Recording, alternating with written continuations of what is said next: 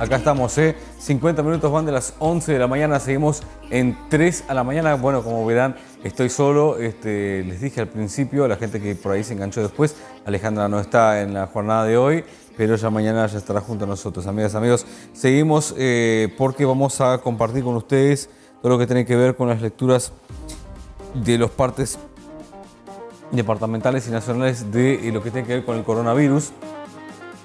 En este informe epidemiológico eh, nos cuenta que se sumaron 30 nuevos casos eh, de coronavirus al departamento, que actualmente se encuentra con 348 casos activos y tenemos a tres personas que están ingresados en CTI. De este, de este total de casos, 218 corresponden a la ciudad de Artigas, después tenemos 121 a la ciudad de Bella Unión, 6 a Tomás Jovenzoro y 3 a Baltasar Brum. Actualmente hay 594 personas cuarentenadas en todo el departamento.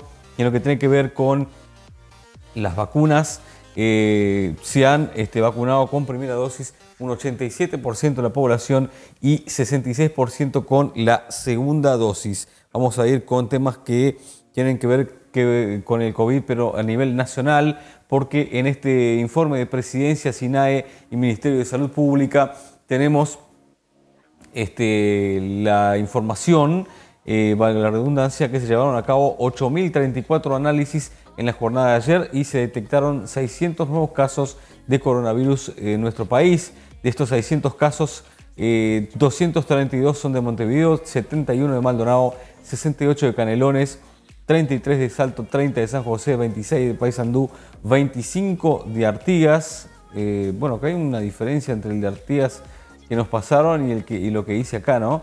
24 de Colonia, también 24 de Rocha, 19 de Tacuarembó, 11 de Soriano, 10 de Florida, 6 de Cerro Largo, 5 de Flores, 4 de Durazno, también 4 de Río Negro y también 4 de Rivera, 2 del departamento de 33 y 2 del departamento de La Valleja. Ayer se confirmaron lamentablemente 22 fallecimientos este, en nuestro país por COVID-19 y hasta el momento son 5.711 las defunciones este, con ese diagnóstico en Uruguay. Actualmente hay 10.646 casos activos y 191 de ellos se encuentran en centros de cuidados críticos.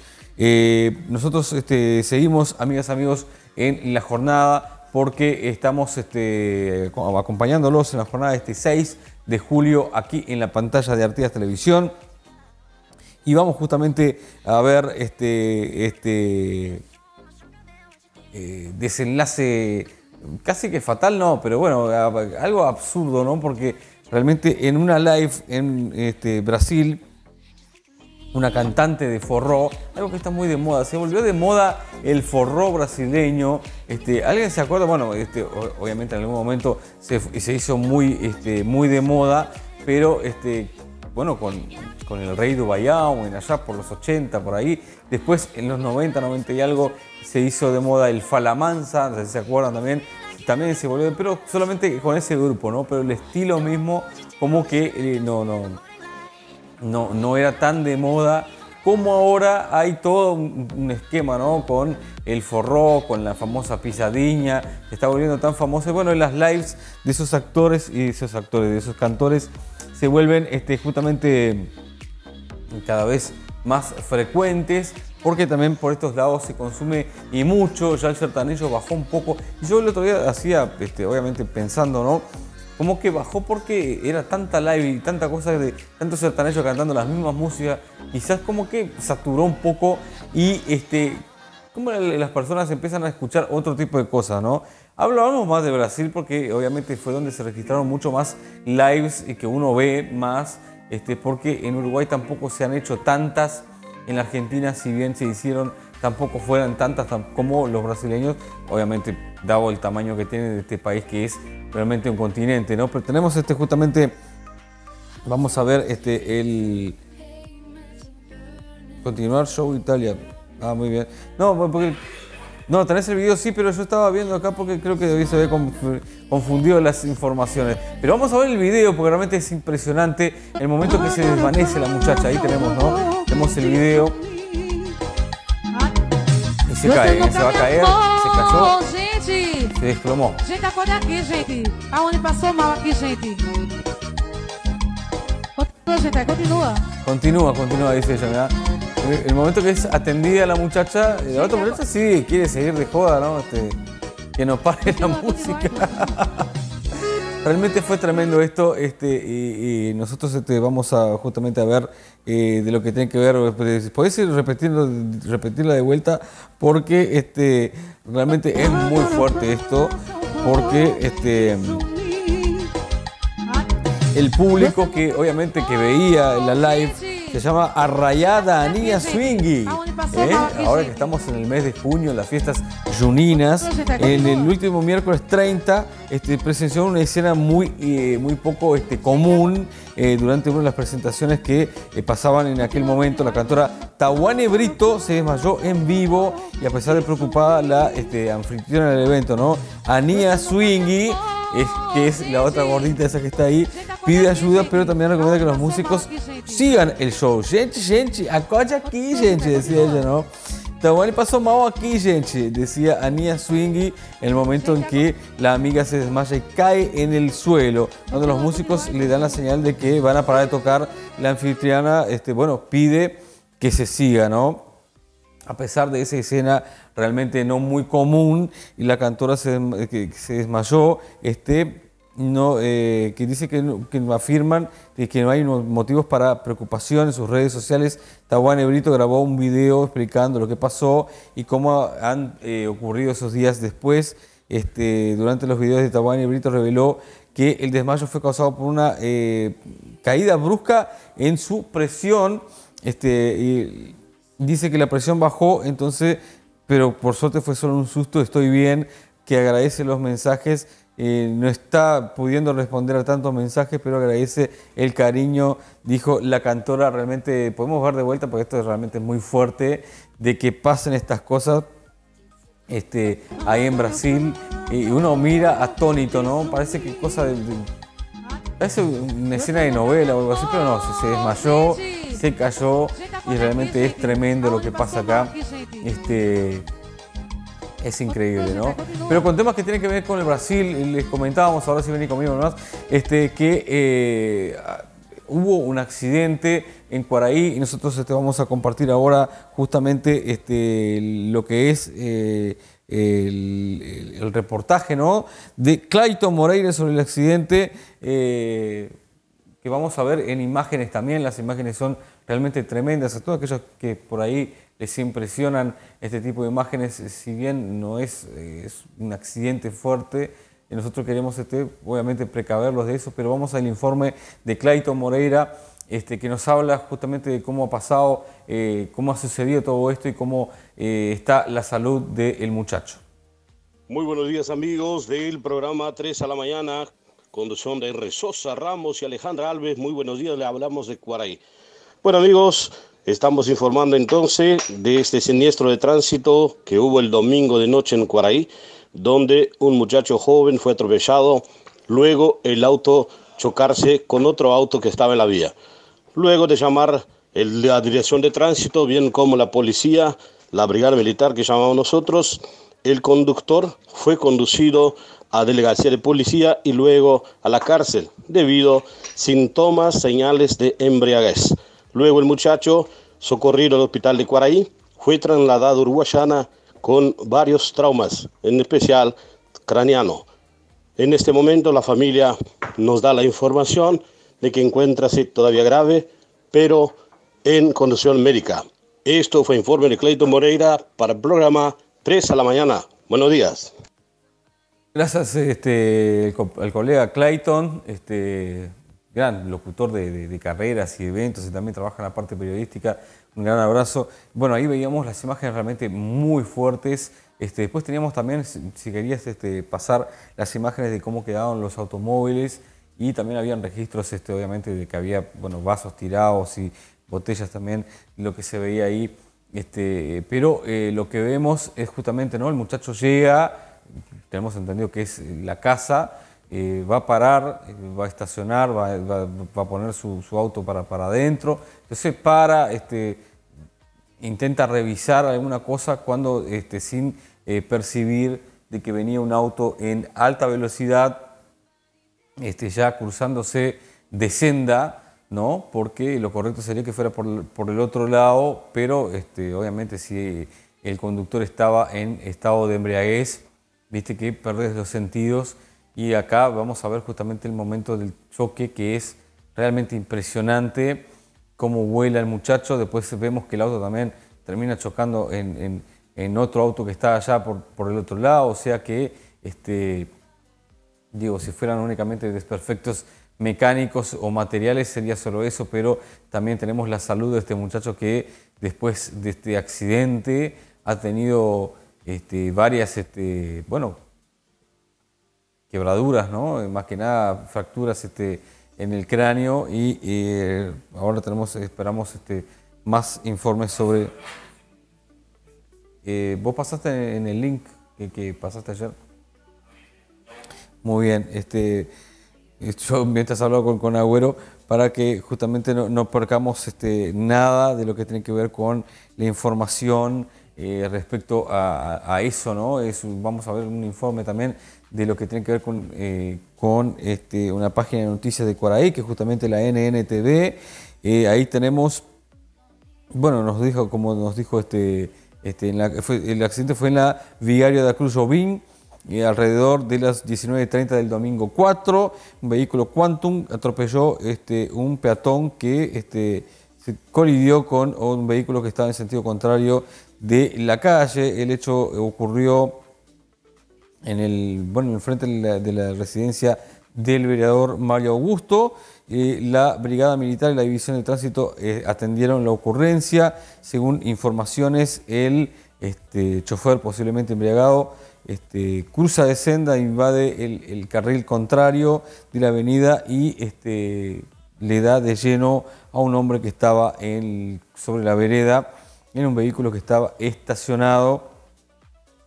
Ahí lo tenemos justamente el choque y tenemos este, las imágenes acá. Este, el conductor fue encaminado para la delegacia de policía y el rapaz, este, el rapaz, ¿no? Este muchacho, porque estoy leyendo en portugués, ¿no? Fue este, llevado a un inconsciente por el SAMU hasta el hospital de Caridad y este, sufriendo fracturas ahí. Ustedes ven justamente los desperfectos este, en este trabajo de la NN TV Online, al cual queremos agradecer este, a los colegas por, este, eh, bueno, por la gentileza, ¿no?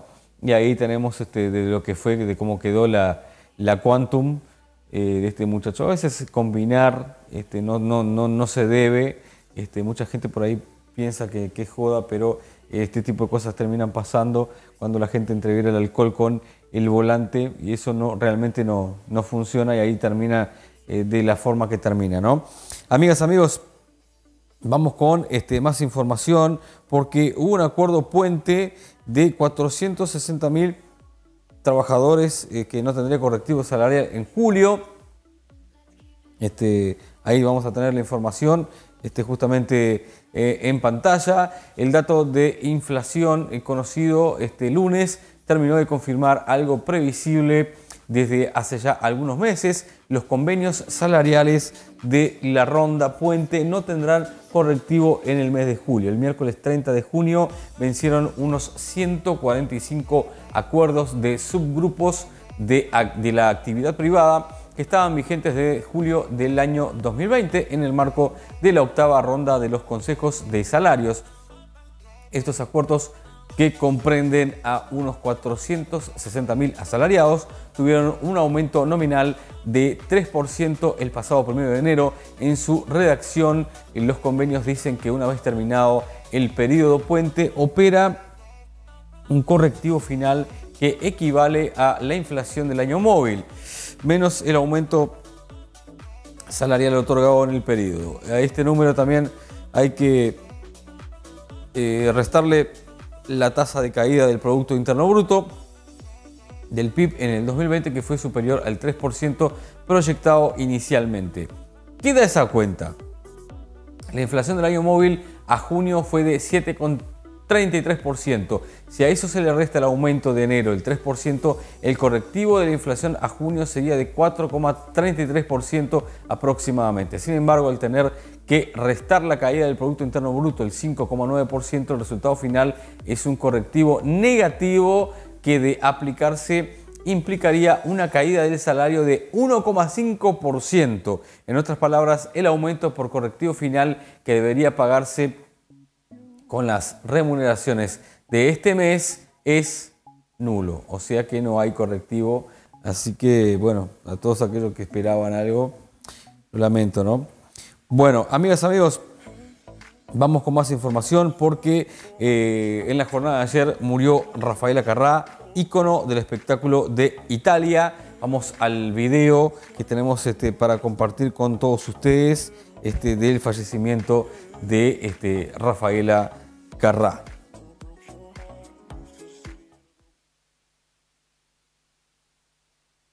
Su fallecimiento se hace...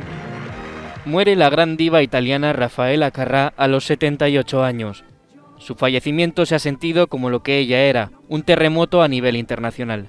Las réplicas de este seísmo de la música y la televisión se han sentido en Italia, en España y en Latinoamérica. El mundo desconocía que la incombustible Rafaela padeciera una larga enfermedad. Como cantante conquistó a todos con sus bailes desenfrenados y su característico movimiento de melena al ritmo de temas como Fiesta, En el amor todo es empezar, Mamá dame 100 pesetas o Caliente caliente. Fue incluso considerada un icono para el colectivo LGTBI, mucho antes de que llegara Madonna. Como presentadora de televisión en Italia, revolucionó la cadena pública RAI con sus apariciones y convirtió en éxito en los años 80 el programa Pronto Rafaela, con el que hizo historia en la televisión. Exportó su espectáculo a España y a América Latina, donde logró ser una de las estrellas más queridas, capaz de contagiar con su descaro y su seguridad a varias generaciones. Toda una revolución para la sociedad de los años 70, 80 y 90, una musa de la libertad y de los derechos de todos. Ahí tenemos ¿no? a, la, musa acá, que, descanse en paz, Rafaela, Italia está de luto, un ícono del mundo del espectáculo, este falleció en la tarde de ayer a las 16.20, tenía 78 años al final, tenía 78, este, fue una de las más grandes artistas italianas, en particular de la, de la televisión, ¿no? El pronto Rafaela sería como el Hola Susana, lo que decía al principio, que este fue reflejado en ese programa. Este, muy particular, ¿no? Este, enamorada de España, donde alcanzó este, también gran popularidad y éxito. Tenía 78 años el realizador, el coreógrafo Sergio Yapino, compañero sentimental del artista, hizo el triste anuncio con estas palabras. Rafaela nos ha dejado, se ha ido a un mundo mejor, donde su humanidad, su inconfundible risa y su extraordinario talento brillarán para siempre.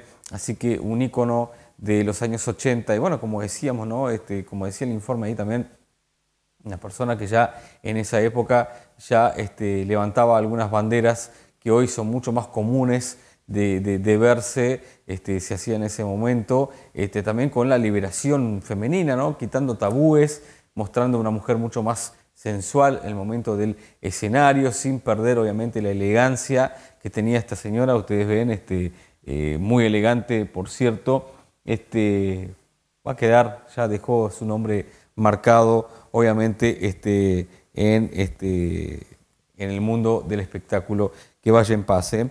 Muy bien, eh, lamentablemente se ha eh, registrado una muerte en Italia y vamos a poner por acá este, justamente lo que tiene que ver con el panel porque este, hay... a ver si yo encuentro acá. Ahora sí. Esta es justamente lo que estamos nosotros también eh, desde aquí uniéndonos a la campaña Justicia para Samuel y Maricón, no debería ser lo último que escuchás antes de morir. Esto fue lo que justamente escuchó este muchacho en el momento que fue atacado este, cruelmente por 13 este, tipos, eh, los cuales este, únicamente por su orientación sexual le propinaron una fuerte paliza eh, con patadas, eh, con, piñazos, con, agresiones, las cuales llevan justamente a la muerte de, Samuel. Hay una gran movida en las redes sociales porque este, España y el mundo se ha visto conmocionado por eso. Este, nosotros tenemos este, justamente también acá las palabras de eh, una carta que escribió su padre enfrente a donde fue muerto su hijo, Soy el padre de Samuel. Quiero primeramente agradecer el excelente trabajo de los equipos eh, del recorrer. Estaré, bueno, para un poquito que se, me, se me chispoteó acá, ¿no? Del 061 por todo el esfuerzo realizado en cuanto al pronto atendimiento de nuestro hijo. Nos quitaron la única luz que iluminaba nuestra vida. Sabemos que vamos a tener un camino muy largo por recorrer. Estaremos apoyados en nuestra familia, amigos y compañeros que nos ayudaron eh, o ayudarán a partir de este camino oscuro. Agradecemos todas vuestras este, opiniones y muestras de cariños. Agradecer a nuestra maravillosa ciudad la Coruña, gracias de corazón, que Dios pueda recompensar todo el cariño que nos estáis brindando. Un abrazo muy fuerte y a todos y deseamos que nunca más llegue a ocurrir a otro día tan negro como el que estamos viviendo, no a la violencia. Y esto este, es justamente eh, en imágenes, eh, lo que estamos eh, viendo son las manifestaciones que se han dado por allí. Este, hay un video también que es realmente brutal en el momento donde están este, golpeando al, muchacho tirado en el piso. Eh, y uno se pone a pensar que en los días de hoy eh, la tecnología avanza, pero la mente humana en algunos casos no eh, sigue siendo de este, hombres de la piedra o quizás de antes. ¿no? Realmente es terrible de que por una persona por su orientación sexual simplemente se le quitó la vida porque sí nomás y de la peor forma. ¿no? Eh, justicia para Samuel, para él y para todos los que eh, sufren este, ese tipo de violencia. Amigas, amigos, vamos a cambiar de, información. Vamos con la lectura de la etapa de Diario Ovación, pues tenemos que ir con el deporte. Vamos con el deporte y, justamente vamos a, profundizar en un rato lo que vamos, eh, justamente eh, una de las este, noticias que está en la etapa de ovación. Torres se negó a cambiar la camiseta con Andrés de Alessandro. ¿Qué pasó? Eso vamos a profundizar en un ratito. Después, en el torneo de apertura 2021, la postura de Rubio tras ser consultado por la continuidad de la Riera en Peñarol en temas que tienen que ver con eh, los tricolores. Balbi, la dirigencia influyó, como nunca y los jugadores los, eh, lo reconocen. Eh, después tenemos Nacional tuvo la mejor versión de un juego de equipo para ganar el clásico. Esto es un análisis obviamente del partido del domingo. Y después episodios increíbles. El misterio continúa sobre la mayor tragedia del fútbol argentino. Eso estaría bueno también de profundizar y de poder ver lo que pasa ahí, ¿no? Pero este, vamos con eh, la profundización de lo que tiene que ver con eh, esta información. Facundo Torres se negó a cambiar la camiseta con Andrés de Alessandro. ¿Qué pasó? Este, el clásico de Nacional en el que Nacional le ganó a Peñarol, el derby del domingo, en el Gran Parque Central sigue dejando polémicas y ahora los involucrados son Facundo Torres y Andrés D'Alessandro, quienes protagonizaron una curiosa situación tras el encuentro. Es que mientras los jugadores de ambos equipos se aprontaban para retirarse del campo de juego, saludos de por medio, ya que no hubo ningún incidente ni entredichos, el futbolista tricolor y el Mirasol se dispusieron a intercambiar sus camisetas, pero eso no se terminó efectuando. Cuando D'Alessandro me hace una falta en el segundo tiempo, me pidió la camiseta. Guacho, ¿me das tu camiseta que eh, va a valer oro? Le dijo Andrés de Alessandro, lo que le dije que sí, y después él me dijo un par de cosas más. Comenzó diciendo el atacante Carbonero en un audio de WhatsApp que se hizo viral y que este, el, día, el suplemento de ovación confirmó su veracidad. Terminó el partido y se la fui a dar porque él quería que yo se la regalara. Cuando se la voy a, dar, él me quiso dar su camiseta, obviamente la camiseta nacional, ¿no? Se la empezó a sacar y le dije, no, mira que yo no quiero tu camiseta, la de Nacional. No la quiero. Eso lo dijo Facundo Torres, ¿no? Ahí me dice, no, pero ¿cómo que, que no? Si es mi camiseta, le dijo, ¿no? Le digo, después si querés, mándamela en el Inter, pero la, de Nacional yo no la quiero, ¿eh? No te la acepto. Continuó este, relatando el futbolista de Peñarol. Ahí me dijo, ta, si vos no me aceptás mi camiseta, yo no te acepto la tuya.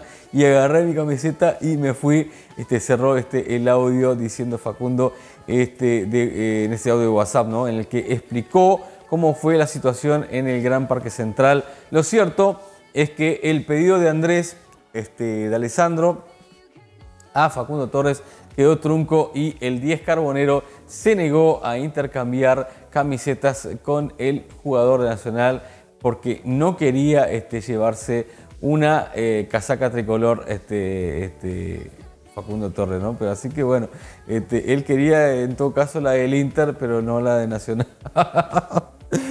Este es Peñarol Peñarol, ¿eh? así que vamos arriba. 12 horas 16. ¿Cómo? No, la verdad que sí. Muy bien, ¿eh? Yo qué sé. Vos sabés que yo, les puedo contar algo y no se me vayan a enojar los tricolores, pero este, una vuelta cuando era chico, mi padre sí es hincha nacional, yo por suerte no, gracias a, a mi vieja.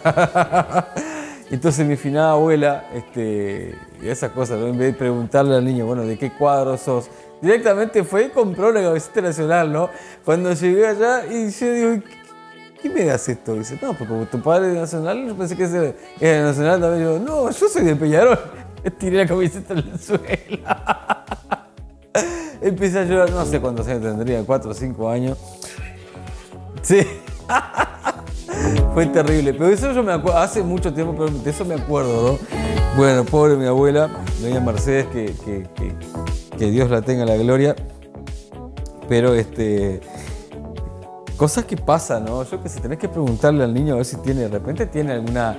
Este, tiene el, el, corazoncito que tira para algún lado. Por ejemplo, mi sobrina Ana Clara, este, la mamá es de Nacional, el papá de Peñarol, y ella está ahí, ¿no? Este, yo soy de Uruguay, dice ella. Se lava las manos, una avión, bárbara, ¿no? Pero bueno, a veces pasa, ¿no? Bueno, ¿Qué tal el, Facebook hoy? Así que un abrazo grande a toda la gente que nos ve por ahí también. Eh, y este, les decimos, amigas, amigos, que nos vamos. Ah, tenemos este, para un poquito. Tengo que mostrar los, los campeones, de los campeones de Mónaco Calzados. Esos son los Santa Bárbara, es una de las líneas que tiene. Este, son muy cómodos, son los que estoy usando hoy. También este, mañana capaz que vengo con los Panama Jack porque realmente para el regalo de los padres está buenísimo. Eh, mira, te puedo decir que ese me salió 1500 pesos baratito, baratito, baratito. Después los Panama Jack me salieron 1300. También vos decís, pa, pero tan barato. Y mira que es el mismo precio que compras en Cuaraí. ¿eh?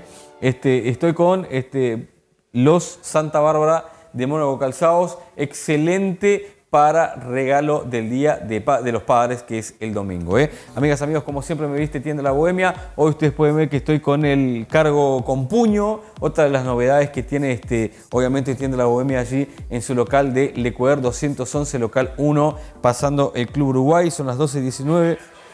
¿Cómo? Ah, no, hoy sí combiné, sí, porque...